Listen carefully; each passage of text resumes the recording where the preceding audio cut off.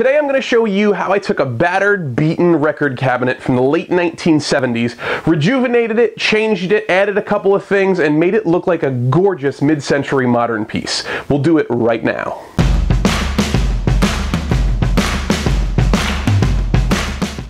I was really happy with the responses that I got to the video I made on fixing my grandfather's 66 year old workbench. And a lot of you, a lot of you guys asked me to do another video of that kind, sort of a restoration video. I don't know if I can call it really a restoration video. That was much more of like just rejuvenating the piece and bringing it back to life. So that's what I'm going to do today with a record cabinet that I had. This has been sitting around my house for months now. I got it with the intent of making a video, but it just needs a lot of love and a lot of changing. So let's take a look at how that's going to go. Knowing that I was definitely going to want to get this record cabinet up and off the floor, I figured taking the casters off the bottom would be a good place to start. That would also give me the opportunity to take a look at the MDF on the bottom and make sure that it was in good enough shape to support the weight of all the records it would need to hold. Each of the 10 sections of this record cabinet is just about 5.5 inches wide and holds around 30 records, with a total weight of 8 pounds per section. So the legs will need to be secure enough to support 80 pounds of records, plus the weight of the record player and the receiver I'll have on top. And if they can't, then... Ooh. Now, unfortunately, the bottom will definitely need to be reinforced. The MDF and the veneer are totally jacked, and we'll get to that later. But first, we're going to take the back two panels off of the piece so we can take a look at the insides and see what needs to be done there. After finding out the hard way that there was still 50 years of dust in this thing, I put my respirator on and then removed all of the vertical slats which create the individual sections. When they built the piece, it looked like they used almost no wood glue at all, so these for the most part came right out without an issue. At this point, I took a look around and realized that while I had a vague idea of what I wanted to do, I didn't really have a plan, so I sat and stared for quite some time. Well, we're waiting. Then I realized that the first thing it desperately needed was some color, and I had some awesome green felt that would work perfect on these shelves. Knowing that I was going to use Super 77 along with the felt, basically because right on the label it says it'll bond felt to wood, I set off on the monumental task of covering every single inch that I did not want sticky with protective paper and tape. I've used Super 77 many times before, and if there is any part that gets touched by it, it is sticky and it is crazy hard to get off, so I made sure to do this at 100%. Once the front was totally masked off, I took the felt and laid it out, and cut myself a piece just longer than was necessary so I had a little wiggle room. Then I went around to the back side and made sure that that was completely sealed off as well, before grabbing the Super 77 and laying multiple coats down nice and thick. After double and triple checking to make sure that every single inch of the wood was completely covered with Super 77, I gave it a minute or two just to get tacky, and then very, very carefully laid the felt exactly where I wanted it.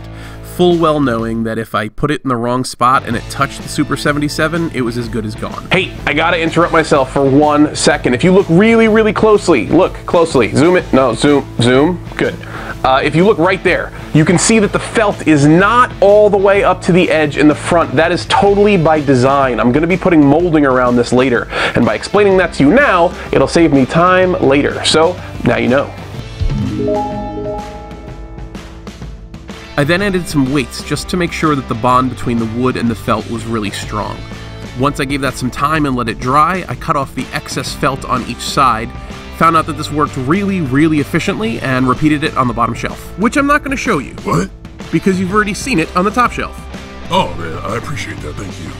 I later went to the back side of the shelf and using more Super 77 adhered the excess fabric to the shelf itself it would not only be held in place by the Super 77, but also by the back panels when they are back in place when this whole thing is done, but you'll see that later.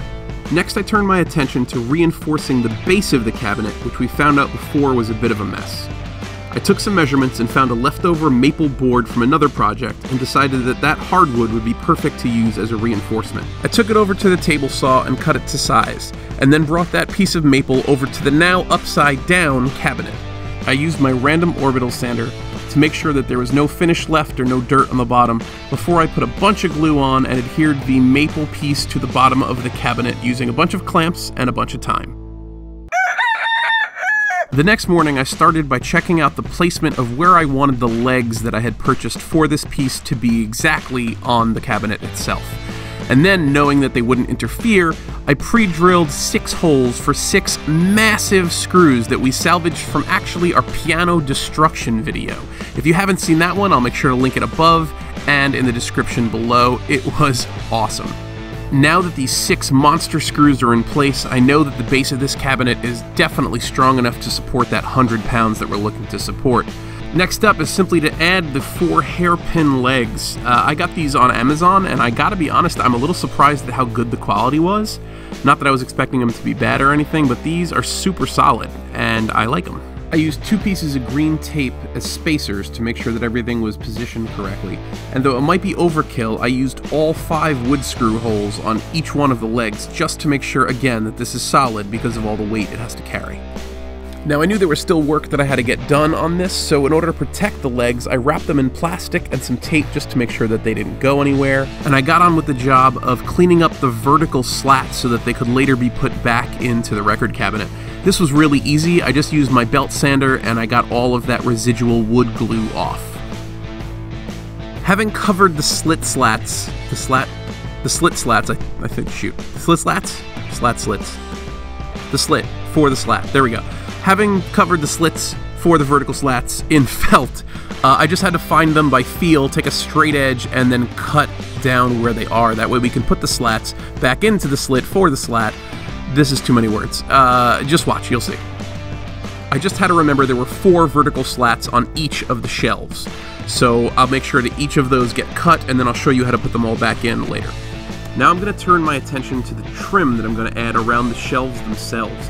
And there's two reasons I want to do that. The first is that I love the look of two-tone wood, so I'm going to use a very pale wood against these dark cabinets and the second is that it'll cover all the seams where the edges of the felt and the wood cabinet themselves meet, and that'll make it look really beautiful and neat. It's time for coffee! Better. Now we know that this is not a solid wood cabinet.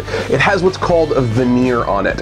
Veneer is a super ridiculously almost comically thin piece of hard, expensive wood that you wrap around cheap wood to make it look expensive.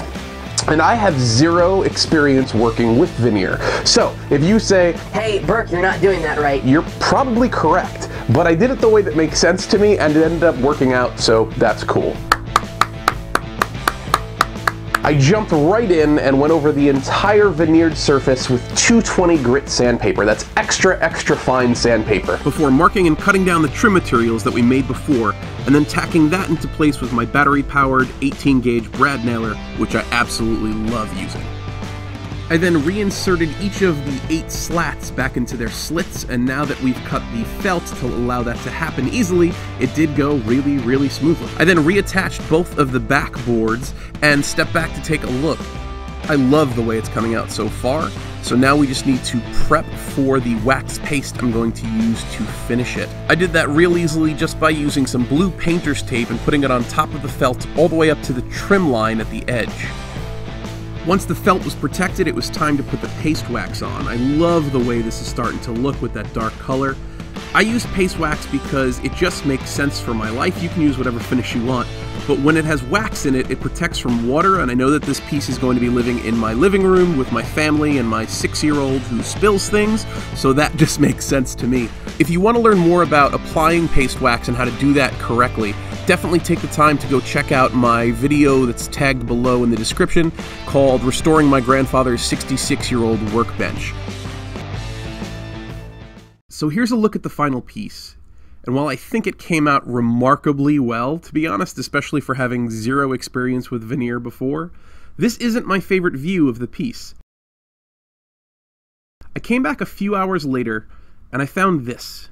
And I asked him if I could record him, and at this point, I knew I would love this piece for a really long time, and hopefully, he will too.